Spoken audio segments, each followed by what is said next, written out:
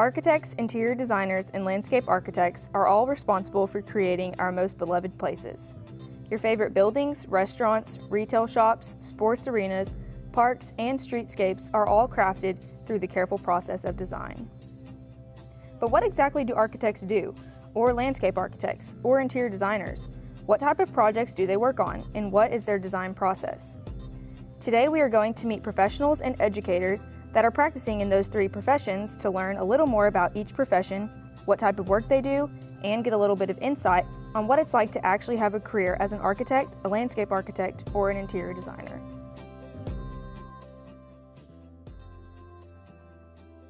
The landscape architecture profession is the sustainability profession. We literally do everything outside, all the way from um, land plans that establish where we protect habitat, where we protect water quality, how we um, improve air quality, all the way down to your backyard where you have potentially have grown up and your kids are going to grow up, making those safe and fun places.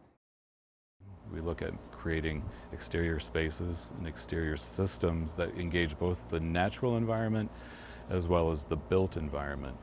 So there's a really natural link between um, the design professions in the school in that hopefully we're engaging in the discipline and into the profession uh, a sort of, of linkage or a connection between the three in which all three of us are aspiring to create healthy, habitable, sustainable places, um, not only for us as human beings, but for our other constituent clients as in the ecosystem and in the environment.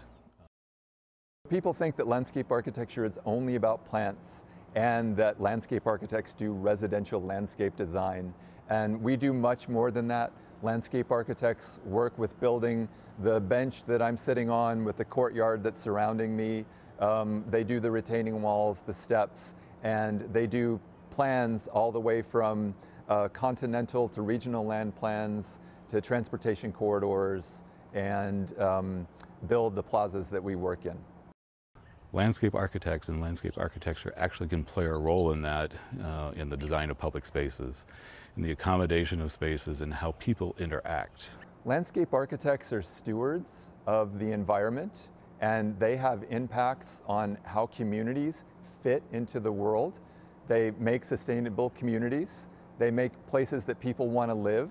We know that quality of life is the number one factor of why people live where they do, and landscape architects basically lay out all of the framework that offers opportunities for the quality of life. They lay out urban grids, which make the downtowns that we love. They create the park systems for the places that we want to go out and play.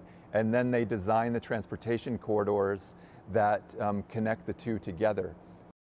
The interaction between the interior designer and the architect and the landscape architect can be really intimate most notably um, perhaps um, in building design or architecture, when we are working with architects and interior designers on how people inhabit or occupy a building. Everything from the surrounding landscape to perhaps there are spaces on the building that um, people can utilize. All of the issues that we see out in the world, I would argue, are landscape architect issues. Um, climate change is a massive issue that, in, that is coming from how we've decided to occupy our environment. Aging in design is a huge issue. Um, how are people going to be able to move around and get outside and navigate the environment? I really think landscape architecture is evolving as a profession um, in the public and it's becoming much more viable as a means of delivering solutions to the contemporary problems we're having in the world. I'd like to show you um, a property that we've been working on for a number of years. Um, it's called Long Acres, and um, it is 23 acres um, outside of West Fork, Arkansas. Um, it's up in the upper Boston Mountains, and um, it was acquired about eight years ago and has been an ongoing project ever since then. So we wanted to live with our horses. We wanted to acknowledge and be sensitive to an Ozark site.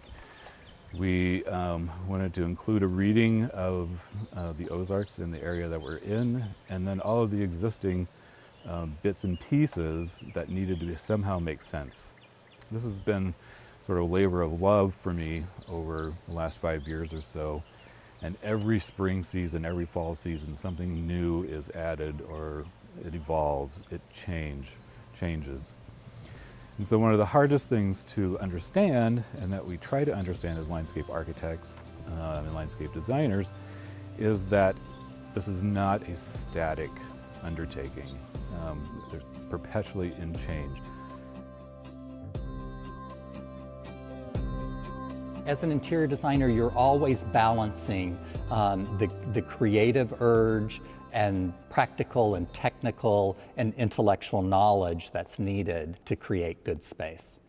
I design the interiors of both residential and commercial spaces for um, large and small businesses and residential remodels or new construction. Every day is pretty different. Some days I am at my computer designing either um, space plans, designing cabinet drawings. Other days I may be looking for finishes and ordering samples for materials. Or I may be on a site looking at the built environment with an architect or contractor when you start school, you're going to go to spaces that interior designers created from kindergartens through university buildings. Uh, every time you travel um, and stay in a hotel, an interior designer created that space. If you're in a nursing home, an interior designer created that space. The most important attribute for any designer, I think, is passion. Passion and work ethic. You have to be in love with wanting to create places to improve the quality of people's lives. I love solving problems for my clients. That's my favorite part is the space planning and how many employees can you fit into the space. Interior design is very broad. Um, if you look at um, the, the, the, market of interior design, the largest segment of the market is actually workplace design, office design. The second largest segment of the market is hospitality design, hotels and restaurants. The third largest segment and fastest growing segment of the market is healthcare design. The design ideas behind this house are um, thinking about um, the aging in place, uh, how we're going to live on this property, live with the land, live with our horses um, until we die. There are no doors in the house. All the circulation paths are very wide. There, the, there are no curbs for the shower um, so that we'll just be able to roll in. The organization for this house um, was built around a 14 foot module. And that 14 foot module was established by the biggest piece of furniture that people have in their house, which is the bed. And so I started by drawing the bed and then the amount of space that you need around the bed uh, to circulate and it turned out to be a 14 foot wide module with the, the closets, the, the, the adjacent storage. And then that 14 foot module was repeated. So the living, dining, uh, kitchen is three modules. The, the bedroom, bathroom is one module, the, the music room is one module, the office is one module, uh, the bedrooms are one module. So the discipline of architecture is about making buildings, as one would assume, and it's about designing buildings and, and creating uh, buildings for the, the environment um, that have a specific use.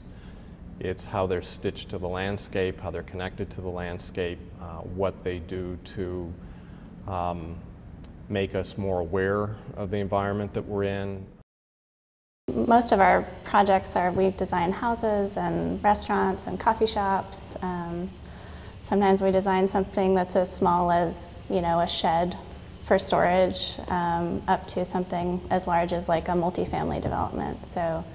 Um, a lot of architects specialize in, in what they design, but we, we really uh, tackle any type of project, big or small, um, with a kind of focused intensity. You know, they see the work and they say, we want, we want, we want this, or we want, go do that thing you do because I'm a lawyer and you're an architect, so be an architect.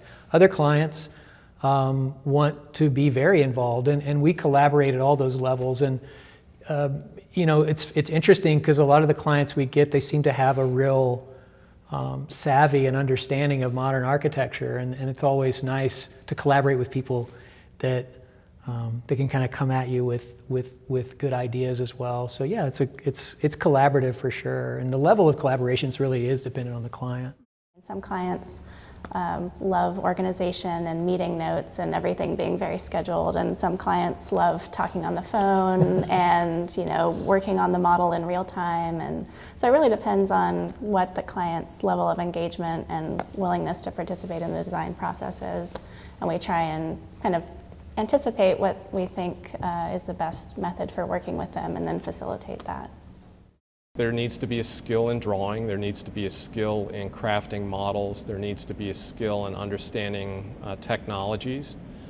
Um, the most important skills are in communication.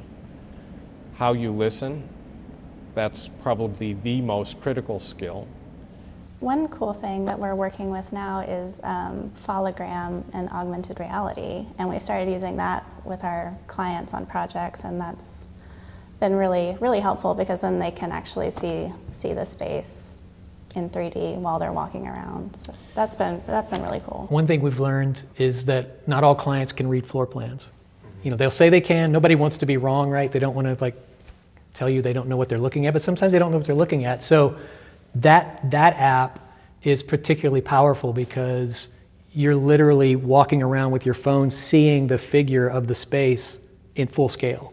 So you're just walking around and it shows you the physical parameters of the space. And so it takes all that sort of floor plan uh, kind of measuring and, and, understanding out of the equation in a way, and it, it, gives clients a little more agency and a little more understanding on the, on the kind of design side, which is nice.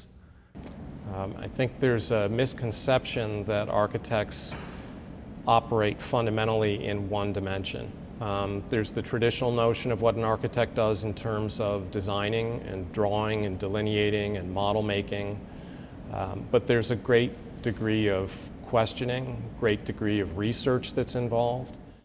Collaboration happens almost on the front end, and you're talking to a contractor within weeks of, of starting a project. So um, I, I think that that's one trend that's definitely just continuing in that direction where collaboration is is more there's more specialty more consulting that kind of stuff and so um, which I don't think is a bad thing. I think it's a different way to work, and I think both both of those kinds of ways of working are valid. But I, I just think that um, there's more access for clients on the front end now to to show you imagery and things like that on you know from from different media sites. So those are things that are that, that make work a little different now than than say 20 years ago. It's a approximately 2,600 square foot single family residence, three bedrooms, two and a half baths. So pretty standard in terms of the size and the program. You know, it's the, the making of the house was uh, a lot about integrating the site, you know, the large uh, kind of window that faced the, uh, it's, on, it's on an abandoned trout farm, so it, there's a lot of beautiful nature all around. So we wanted to integrate the house into that. One of the things we thought about was um, the relationship of solids to, to voids. So the space, the primary space versus secondary space, um, how you conceal the kind of um, mundane domesticity, you know, things like cabinets, things like bathrooms. They just become sort of objects um, within these kind of rich material palettes of wood. How the house is organized um, really belies what the clients think about family and how they want to live. So, you know, this, this space is really where they wanted to spend most of their day. Um, so this, you know, kitchen, dining, living room, it's the main space. Um, and then most of the other spaces are very utilitarian. You know, the bedrooms are like 10 by 10 and they're there for sleeping. And um, there are not a, a lot of um, kind of residual spaces. Um, so it's really about being together as a family um, and enjoying enjoying all of that with one another. So I, I, thought that was really cool. That's a good point. I mean, yeah, the, the, there was a it's a very intentional move to do small bedrooms. You know, a lot of custom houses the clients want sitting areas in their bedrooms or areas for the kids to do homework or whatever. Uh, these clients wanted the, they wanted to foster that kind of interaction. So there was a very there was a very much a hierarchy on this public space and all the other spaces of the house were pretty pretty ancillary, pretty small in scale and, and in purpose. So it's a really good point that it did help drive some of the decision making. We hope you enjoyed learning a little bit more about the professions of architecture, landscape architecture, and interior design. As you've seen, designers are constantly juggling their design ideas, clients' needs, site factors, budgets, and other constraints within a design project, which makes the work that designers do both challenging and rewarding at the same time.